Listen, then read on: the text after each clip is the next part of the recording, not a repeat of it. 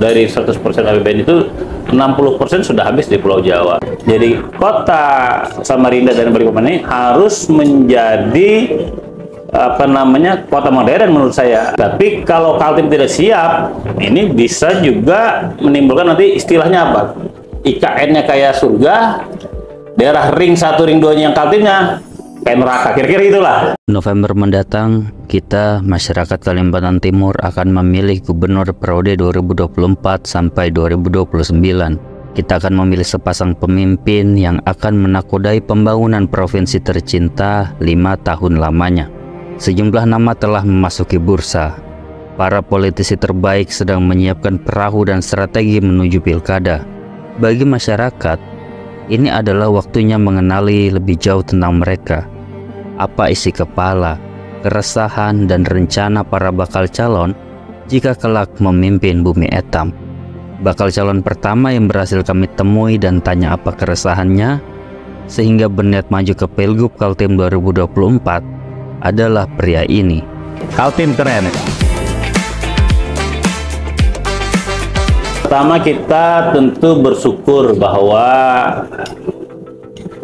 uh, Jokowi, Presiden Republik Indonesia telah menetapkan ibu kota negara berada di Kalimantan Timur. Menurut saya ini sebuah peluang, tantangan, sekaligus juga ancaman anak karena selama ini memang APBN itu lebih terkonsentrasi di Pulau Jawa. Jadi dari 100% APBN itu 60% sudah habis di Pulau Jawa, 20% Sumatera, 20% lari ke Kalimantan, Sulawesi, Maluku, dan Papua. Sehingga dengan dibangunnya IKN di sini diharapkan pembangunan itu lebih merata di wilayah tengah dan timur Indonesia.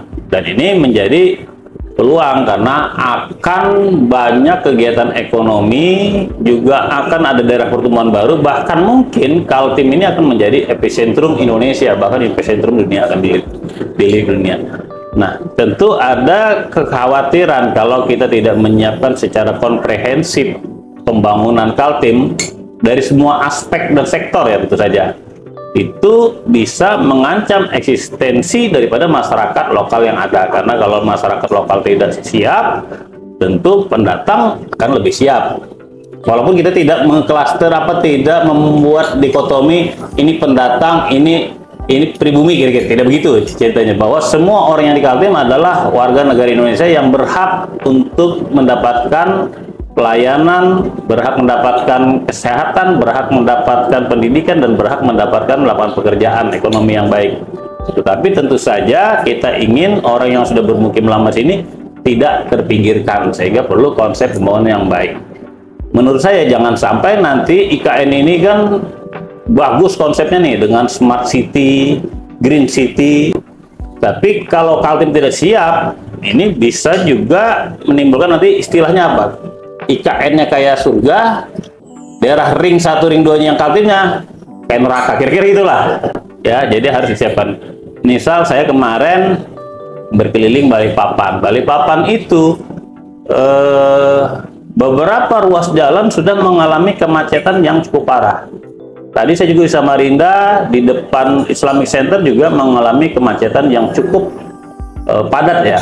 Sehingga kalau saya berpikir kalau nanti ada migrasi penduduk dari Pulau Jawa atau dari Jakarta ke IKN mungkin dalam jumlah 2 juta sampai 5 juta orang tahap awal mungkin 2 juta ya mungkin nanti akan tambah sampai 5 juta orang. Bisa dibayangkan ketika orang-orang IKN itu mungkin sekedar berbelanja cari makan ke Balikpapan ke Samarinda pasti tidak bisa lagi terhandle dengan baik kota kita mungkin akan lebih semeraut sehingga perlu perencanaan yang lebih matang Salah satunya adalah tentu harus disiapkan transportasi publik yang baik, yang modern. Jadi jadi kota Samarinda dan Balikpapan ini harus menjadi apa namanya kota modern menurut saya agar tercipta Tricity ini benar-benar terkonek dengan baik. Itu itu satu saya kira berkaitan dengan IKN.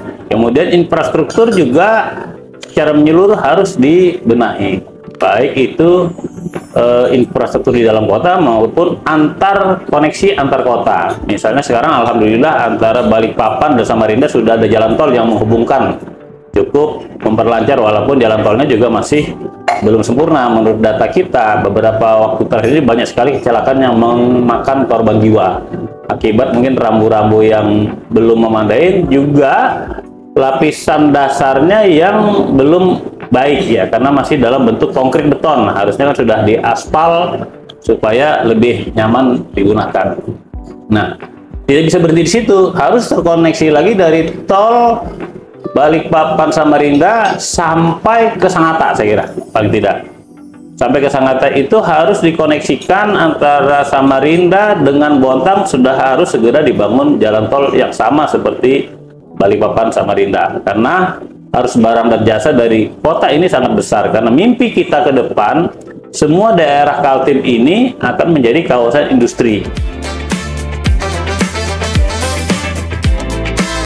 Industri-industri besar yang ada di Jawa misalnya harus digeser ke Kalimantan Timur. Pariwisata didorong misalnya, tapi tidak semua lantas latah mau membangun pariwisata. Kalau di Kaltim tentu daerahnya tidak cocok untuk kita membangun pusat uh, food estate